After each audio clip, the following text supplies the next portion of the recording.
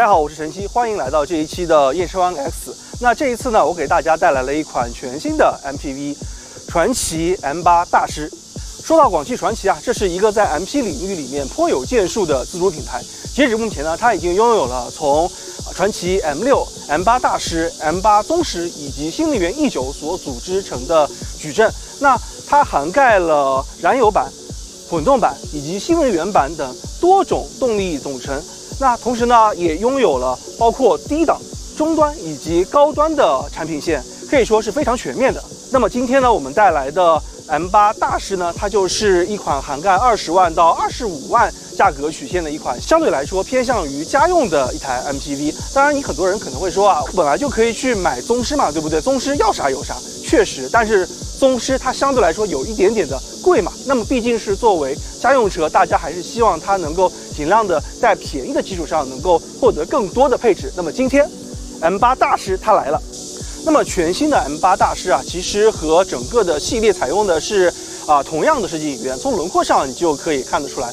但是最大的变化呢，就是在它的格栅，它采用的是叫做跃迁光栅的啊一个格栅设计语言。你可以看到啊，整个前脸看得非常的威武，一共有一二三四五六七八八条。V 字形的镀铬所组成的这样的进气格栅，它同时在内部呢，还通过一点小小的分割，你看看起来又是一个小小的 V 字形，那这样会显得非常的精致。那这种打造手法呢，其实你可以在很多的豪华车型也都可以看到。那么作为第二代产品啊，其实 M8 大师可以说是比较成熟以及内敛一点。那有什么可以代表它的时尚感呢？我想那必然是它的大灯。它的大灯设计语言叫做电翼之眼，在启动的时候啊，都会有各种丰富的灯语来呈现出不一样的效果，可以说非常受年轻人的喜欢。那尾灯呢，你就可以从之前的呃从系列产品上可以看出来是同样的设计风格，但你只要记住一点：二百四十颗 LED 灯珠点亮，它就是帅，它就是出类拔萃。新车的长宽高呢是五千二百一十二毫米、一千八百九十三毫米、一千八百二十三毫米。那轴距呢达到了三千零七十毫米，呃，那么轴它的轴距呢，相比上一代产品又增加了七十毫米。那么对车内的空间有没有特别明显的改观吗？那我们就上车来看一下。走进车内你会发现啊，它的视野非常的开阔，而且会。带一点不一样的感觉，那是什么呢？它就是它采用了一种叫做“天鹅之养”的设计语言。你可以看到，从中控这部分，然后一直延伸、延伸、延伸到门板，它这样的一个走线啊，它形成了一个像张开的天鹅翅膀一样的这样的一个设计的手法，看着非常的赏心悦目。它一定程度上呢，也和啊你的车灯的电翼之眼有一定的呼应，毕竟大家都是带翅膀的嘛。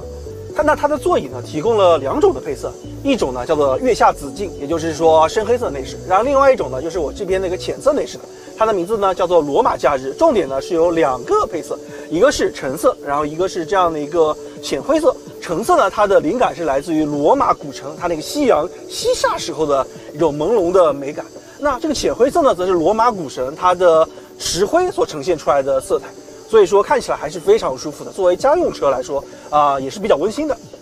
仪表呢，它的尺寸呢是十二点六英寸，它的中控的尺寸呢从上一代产品的十点零一英寸升级到了十四点六英寸。那芯片呢也是大家比较熟悉的八幺五五，可以说它的整个的流畅度还是完全没得说的。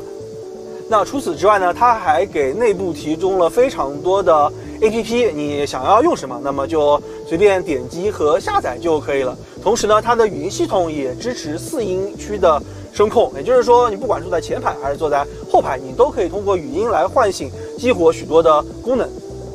那么来到后排啊，这可以说是一款 MPV 当之无愧的重头戏了。那 M8 大师的第二排呢，它提供了四百八十毫米的超长的手动滑轨。那上一代的提供的手动滑轨，它的距离呢是三百六十毫米。那也就是说啊，可以给你的小腿这里啊提供非常非常充足的空间。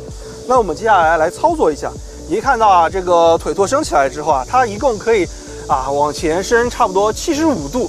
那么呃，比上一代呢提升了十五度，同时呢，它的腿托可以向前提升差不多九十毫米，可以说啊，你看这是整个的姿势是非常非常的惬意的啊。你看现在天外面的天气呢是四十度啊，我都有一点想要躺在里面休息了。当你把后排座椅放倒的时候呢，你会发现啊，我二排还有一个专属的全景天窗啊，整个的采光和通透性是非常非常的舒服的，坐在里面睡午觉啊，那简直就是一种享受。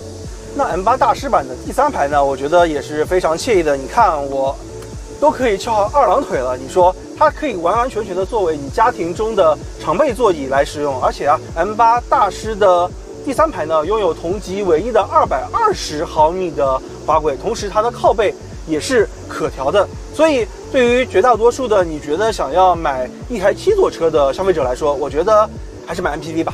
二排的座椅功能呢，能够通过扶手屏来实现，具备通风、加热和十点按摩功能，非常非常的舒服。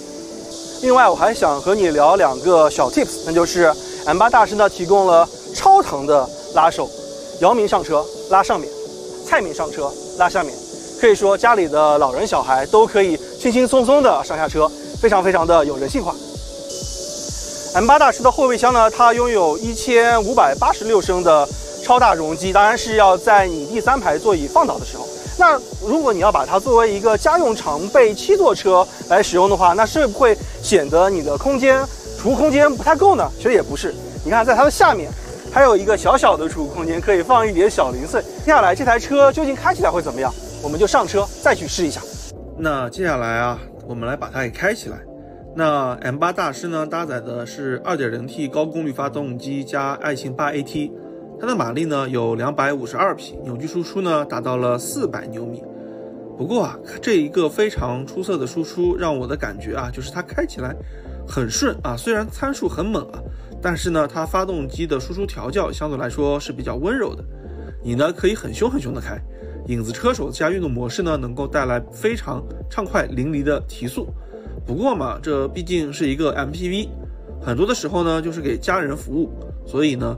追求极致的动力并不是他的诉求，用平顺的提速和精准的转向把家人送到目的地才是正途。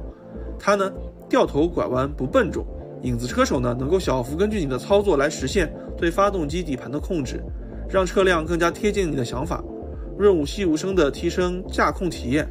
我觉得吧，这就是一台 MPV 应有的素质。那么最后我来简单说一下我对。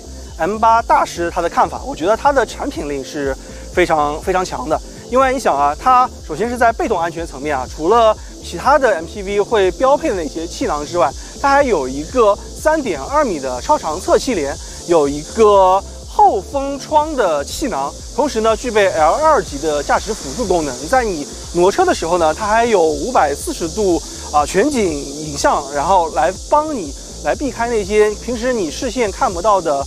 障碍物，它的无风感空调呢，能够给你带来非常清新的空气啊，吹着，特别是在这个大热天里面，吹着特别舒服。那它的后二排的空间呢，也表现挺好的。你像，而且有啊座椅加热通风，然后还有十点按摩功能，你在大热天的时候来睡个午觉也是非常惬意的。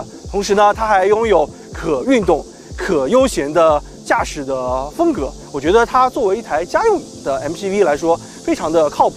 那还有一点呢，就是它的保值率。要知道啊，传祺 M8 它的保值率可以说是在当前的自主品牌是妥妥的名列前茅。它的三年保值率是百分之八十点零一，整个家族的销量已经突破了二十五万台，非常非常的啊，非常认可度非常非常的广啊。而且它已经有在五十六个星期里面都获得了自主品牌豪华 MPV 的啊销量冠军。所以说啊，我觉得如果你想要买一台价格合适的、配置比较高的家用的 MPV，那么 M8 大师就是不二之选。